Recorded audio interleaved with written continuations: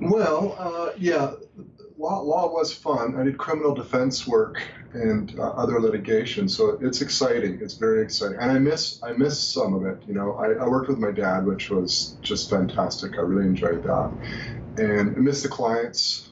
You know, you know, get to help people, and so I miss that. But uh, there are things you don't like, like uh, you don't really have control over your life. It's uh, trials are, are, you know, very time consuming, um, all consuming really, and uh, and it's, it's, more stressful, frankly. Um, I mean, you've got, you know, you're dealing criminal matters. It's it's pretty serious stuff, and uh, flexibility, um, vacation, that sort of thing. Um, really, really being more of a full-time website publisher, you, you, get a lot more flexibility in your life, and uh, that was something I really wanted. So.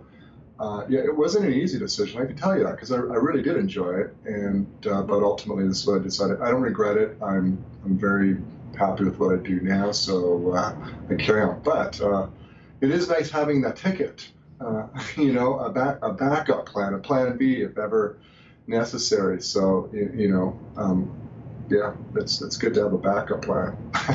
right, right, and I think I mean I I I mean I, I was not a lawyer but I had like a, a professional career and it, I was doing that for about 10 years. So I, I can go back if I need to. And it, it, it is nice to have like, to understand what it's like to work in a corporate job or a professional, um, you know, career like a lawyer.